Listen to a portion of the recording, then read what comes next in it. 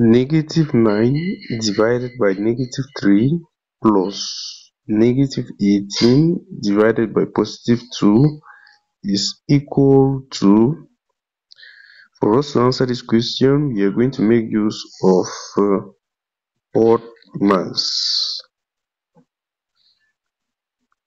the reason why we are making use of BODMAS is simply because in this question we have uh, more than one arithmetic operation to perform.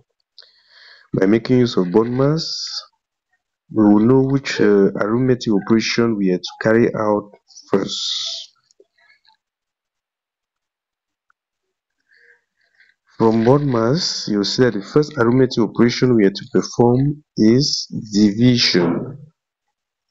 Negative 9 divided by negative 3, we are dividing two negative numbers, the result will be positive. This will give us a positive.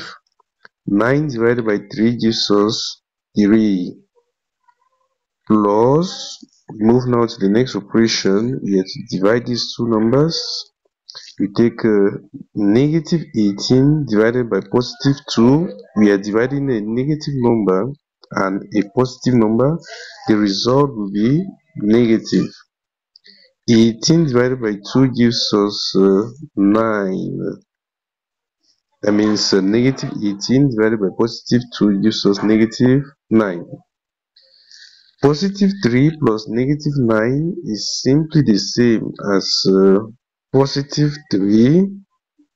You know, positive, negative, negative stays, positive 3 minus 9. This will simply be equal to 3 minus 9 gives us negative 6. Therefore, negative 9 divided by negative 3 plus negative 18 divided by positive 2 is simply equal to negative 6. We underline the answer. We are done with the solution of this question.